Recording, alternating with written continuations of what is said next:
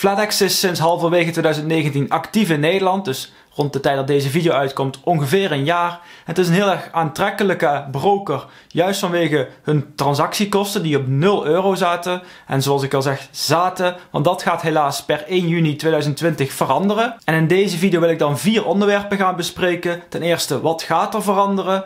Ten tweede, waarom zou je nog bij FlatEx blijven? Welke redenen zijn daar nog voor te vinden? Ten derde, welke alternatieven zijn er voor FlatEx? Wat zijn goede andere brokers? En als je over wilt stappen, dat is het laatste onderdeel. Wat moet je dan nog doen om die overstap te maken? Genoeg informatie dus weer in deze video. Dus laten we snel beginnen.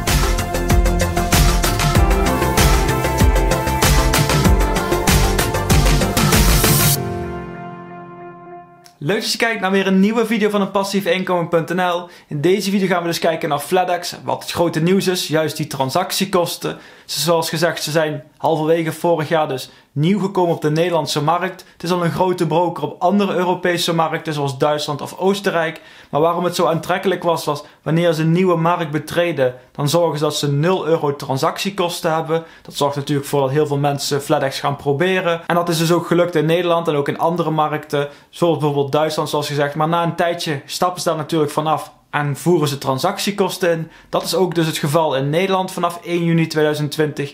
Iets eerder dan ik gedacht had, want het is eigenlijk een jaar nadat ze hier uh, ja, begonnen zijn in Nederland. Dat heeft er misschien ook wel mee te maken vanwege het grote nieuws eerder dit jaar. Toen werd bekend dat FlatEx de Giro overnam. Nou, de Giro is denk ik een van de bekendere brokers in Nederland en in ieder geval heel erg groot binnen onze community, heel erg populair. En FlatEx heeft dus de Giro overgenomen. Uh, beide merken blijven trouwens bestaan, maar ik denk vanwege de grote naamsbekendheid van de Giro in Nederland, dat dat het primaire broker zal worden binnen deze groep. Misschien ook wel de keuze geweest daarom om al eerder transactiekosten in te voeren bij FlatEx. En gaan we dan kijken naar die transactiekosten, gaan we naar de website van FlatEx, dan zien we daar nog steeds voor op de voorpagina staan dat ze 0 euro transactiekosten hebben. Gaan we echter naar de tarievenpagina en pakken we daar de pdf, het tarievenoverzicht. Dan zien we dat er inmiddels twee pagina's zijn. Ik heb ze hier even uh, samengevoegd, zeg maar. Aan de linkerkant zie je de tarieven geldig tot en met 1 mei. Uh, sorry, 31 mei van 2020. En aan de rechterpagina de nieuwe tarieven, die gaan gelden vanaf 1 juni 2020. Het enige verschil dat ik kan zien tussen deze twee pagina's zit bij punt 2, de transactiekosten. Daar zien we aan de rechterkant de nieuwe tarieven dus bij aandelen, obligaties, fondsen, ETF's en ETN's geen 0 euro meer staan, maar dus een bedrag van 3,90 euro per transactie. En gaan we deze tarieven dan vergelijken met de Giro? Natuurlijk omdat de Giro binnen dezelfde groep valt inmiddels, maar ook omdat de Giro dus populairste broker is binnen onze community. Dan zien we dat bij de Giro daar de kosten een beetje verschillend zijn. Kijken we naar aandelen, dan kan dat 50 cent zijn per transactie met een kleine opslag per aandeel. In het geval van Amerikaanse aandelen of 2 euro voor de Nederlandse, Belgische en veel andere beurzen. Andere beurzen hebben trouwens ook nog een, soms een 4 euro uh, transactiekosten. Bij obligaties is dat eigenlijk hetzelfde. Daar zien we een beetje dezelfde tarieven. Ook vaak weer gewoon 2 euro per transactie. En bij fondsen en ETF's kan dat anders zijn. Het is standaard in ieder geval zo dat je gewoon dezelfde kosten hebt dan bij aandelen eerder zagen. Maar zitten ze nou in de kernselectie van de Giro, dan kan je ze onder een paar simpele voorwaarden eigenlijk elke maand gratis kopen of verkopen. En heb je dus niet te maken met transactiekosten. En de Giro heeft ook nog een klein percentage wat van toepassing is bij elke aankoop. Maar aangezien dat zo laag is, is dat eigenlijk vast van belang wanneer je meer dan 6500 euro per transactie doet, dan pas kom je op die bedragen die we bij FedEx zagen van 3,90 euro.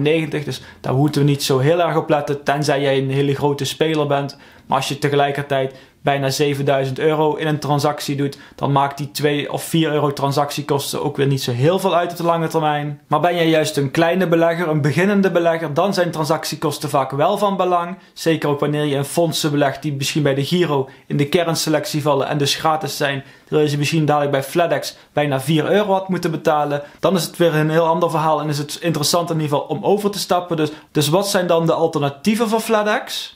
En zoals denk ik wel duidelijk is geworden in deze video, ik haal vaker de Giro aan als voorbeeld. Dat komt omdat ik denk dat dat het beste uh, alternatief is voor FlatEx. Nogmaals, het is de bekendste en populairste broker binnen onze community. Je hebt gewoon heel erg lage kosten. En wanneer je dus gebruik maakt van de kernselectie, kan je zelfs transacties doen zonder kosten. Dus dat is sowieso interessant. De Giro is ook mijn favoriete broker. Ik heb er ongeveer nu 40.000 euro belegd. En daarom denk ik ook dat het de beste broker is trouwens voor de meeste beleggers. Zeker voor beginnende beleggers. Ze hebben op dit moment een wachtlijst.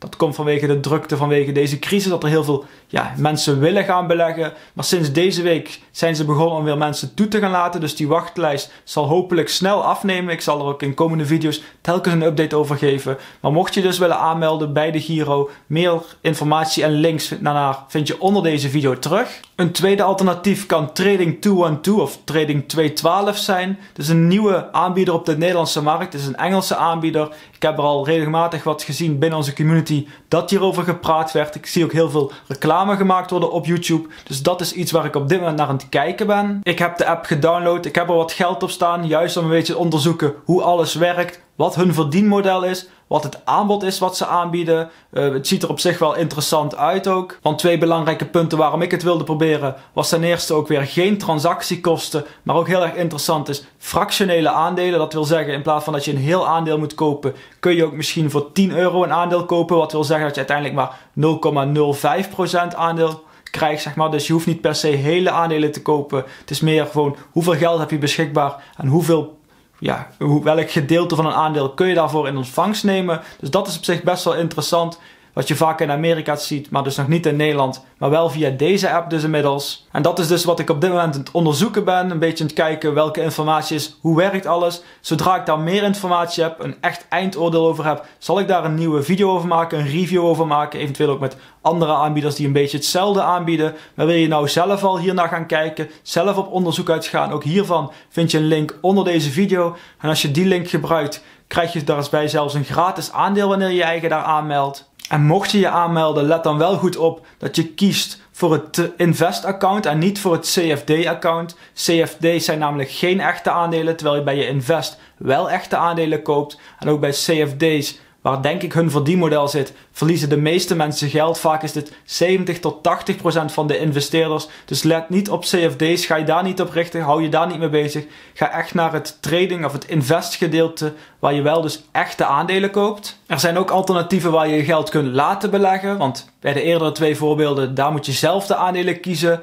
Eh, zelf het onderzoek doen. Maar je kunt er ook voor kiezen, zeker wanneer je misschien beginnende belegger bent, om een bedrijf het geld te geven, een bepaalde strategie aan te geven welke waar je aan jij wilt voldoen, zeg maar.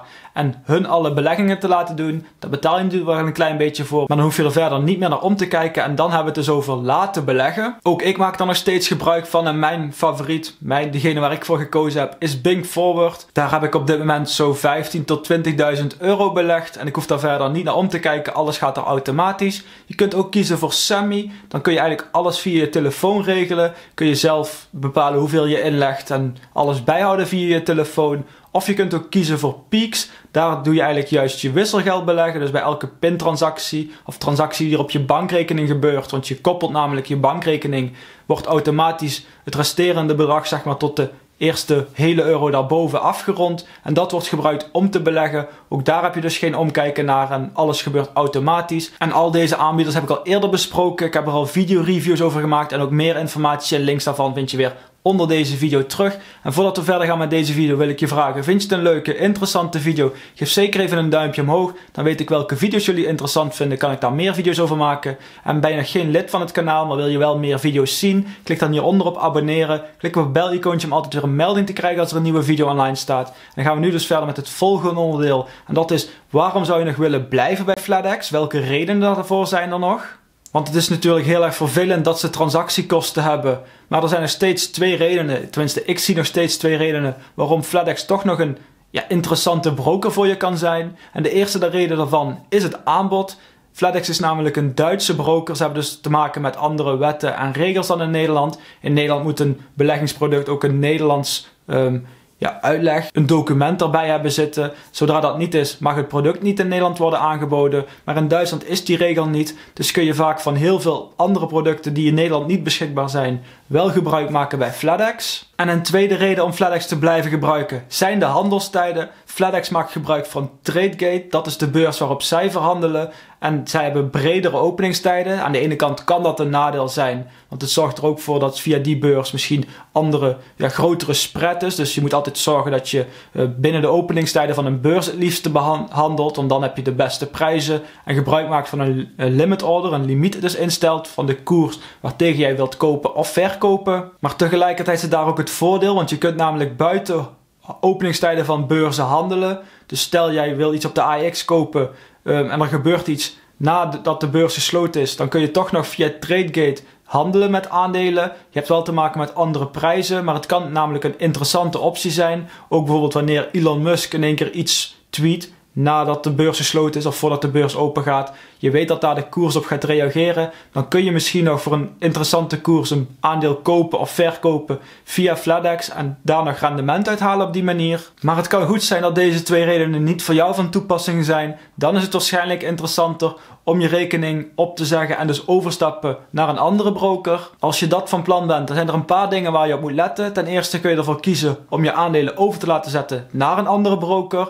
De kosten hiervan verschillen per broker. En laten we weer de Giro als voorbeeld nemen. Dan zien we dat het overbroeken van een portefeuille naar de Giro gratis kan zijn. Wanneer je portefeuille meer dan 3000 euro waard is, is het minder waard. Dan betaal je 10 euro per regel. En per regel wil zeggen voor elk aandeel dat je hebt in de portefeuille van FlatEx. En ik heb er op dit moment twee. Dus wanneer ik hiervan gebruik zou maken, ik heb niet die 3000 euro portefeuille portfoliowaarde, zeg maar, dan zou ik dus 20 euro betalen voor deze overmaking, deze overboeking en overzetten van het aandeel. Dat zijn op zich best wel veel kosten, zeker aangezien ik maar een positie heb van een paar honderd euro. En je moet ook rekening mee houden dat je nog verschillende formulieren moet invullen bij FlatEx en bij de Giro. Dat kost ook nog tijd, dus dat is alleen interessant wanneer je dus grote portefeuilles hebt, veel geld hebt staan, veel geld hebt belegd bij FlatEx. Heb je nou niet zoveel geld belegd, net zoals ik, dan is het veel interessanter om gewoon de aandelen te verkopen bij FlatEx. Daar zitten toch geen kosten aan. Vervolgens dus het geld over te boeken naar je eigen rekening dat weer te storten, bijvoorbeeld bij de Giro en daar je aankoop te doen, dan heb je hoogstens een paar euro per aankoop bij de Giro. Ligt eraan natuurlijk of je aandelen koopt of dingen in of buiten de kernselectie. Maar dat is dan denk ik de goedkoopste en ook makkelijkste optie. En waar moet je dan op letten bij deze optie? Nou, dat zijn dus drie stappen. De eerste daarvan is door je aandelen te verkopen bij FlatEx. Dat doe je door naar je portefeuille te gaan, vervolgens het aandeel te kiezen welke je wilt verkopen. Daar klik je op de rode V van verkopen. Kom je op een nieuwe pagina, klik vervolgens nog een keer op de rode V van verkopen. Je vult de gegevens in, je vraagt de prijs aan. En uiteindelijk verkoop, of ja, bevestig je de verkoop en verkoop je het aandeel ook echt. En dat doe je dus voor elke regel, elke positie, elk aandeel dat je hebt. Op dat moment heb je dus geen geld meer zitten in aandelen. Als alles dan goed is, staat alles op je geldrekening. Dan is dus de eh, volgende stap om het geld over te schrijven naar je eigen bankrekening. Dat kun je ook wel doen via de website van FlatEx. In je profiel ga je naar rekening, vervolgens naar overboeking. Je kijkt welk bedrag je hebt, dat vul je in en je slaat dat op. Je controleert nog een keer alles en klikt op uitvoeren. En aangezien het een Duitse broker is, zal het misschien 1, 2 dagen maximaal duren voordat het geld dan weer bij jou op je rekening staat. En als het geld dan eenmaal op je rekening staat, dan komt de laatste stap. En dat is om je account op te gaan zeggen bij FlatEx. Nou, ik heb het in ieder geval niet kunnen vinden in het account als ik ingelogd was bij FlatEx. Ik heb van alles kunnen doen, nieuwe rekeningen aanmaken, maar rekeningen opzeggen, dat is me niet gelukt. Als er eenmaal geen geld meer staat, hoef je het ook niet per se op te zeggen trouwens. Maar mocht je dat wel per se willen doen, dan raad ik aan om in ieder geval contact op te nemen met de klantenservice, te zeggen dat je je rekening wilt opzeggen. En ik hoop in ieder geval dat zij het dan snel voor je zullen regelen. Je kunt er nog bij zeggen waarom je doet. Misschien vanwege die transactiekosten, misschien dat ze er in de toekomst nog iets mee doen. Dat is in ieder geval altijd meegenomen. Misschien vragen ze er ook wel naar. En op dat moment heb je dus eigenlijk alles afgerond is in ieder geval heel de overstap klaar en kun je dus bij een andere broker weer aan de slag. En daarmee komen we ook aan het einde van deze video. Bedankt weer voor het kijken. Vond je het een leuke, interessante video? Geef zeker even een duimpje omhoog. Dan weet ik welke onderwerpen jullie leuk vinden. Kan ik daar meer video's over maken. En je helpt natuurlijk het YouTube kanaal wat meer mensen krijgen deze video te zien. Wil je zelf nou nog meer video's zien zoals deze? Maar ben je nog geen lid van het kanaal? Ik maak elke week twee video's. Die gaan over persoonlijke financiën, investeren en beleggen of passief inkomen. Dus klik hieronder op abonneren. Klik op het bel-icoontje daarnaast om altijd weer een melding te krijgen als er een nieuwe video online staat. En hoop ik jou graag bij de volgende video weer te zien.